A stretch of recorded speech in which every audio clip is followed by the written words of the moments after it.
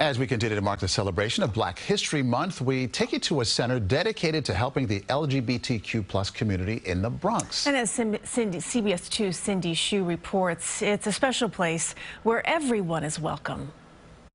Sean Ebony Coleman is the founder of Destination Tomorrow and says he's the first African American of transgender experience to operate an LGBTQ plus center in New York City.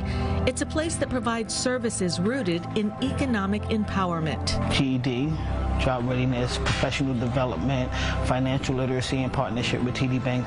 I wanted to give folks sufficient tools so that they can go on to tomorrow and be successful. Sage Rivera is Destination Tomorrow's Director of Programs, but first came to the center years ago as a participant. It was refreshing to find a place that sort of spoke my language and people that looked like me, and also to be able to find a place where I can be open in myself and not be judged about it. The center also celebrates the pioneers who came before them, including two of Stonewall's leading activists, Sylvia Rivera and Marsha P. Johnson, who started Star House in the village in the 1970s. The Star House was a space for um, runaways that used to hang out on the pier. They could go there and get whatever services that they needed.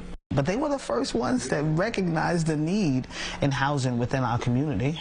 So the Star House was, was, was born. Destination Tomorrow also finds housing for those in the LGBTQ plus community and works on helping to turn people's ideas into action. Destination Tomorrow is a place of not only of safety but of ideas where we help foster them to grow without judgment and find like-minded people that will meet you where you're at and help you get to where you want to go. A place where you're treated with respect and dignity. We hope that the word continues to spread um, far and wide that the Bronx has an LGBTQ center for the community, by the community, and open to all. In the South Bronx, Cindy Hsu, CBS 2 News.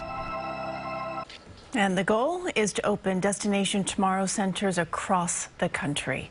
We will continue to have stories throughout February highlighting the contributions and sacrifices of African Americans who helped shape our country. They'll be here on CBS 2, and you can also find them streaming on CBS News New York, as well as CBSNewYork.com.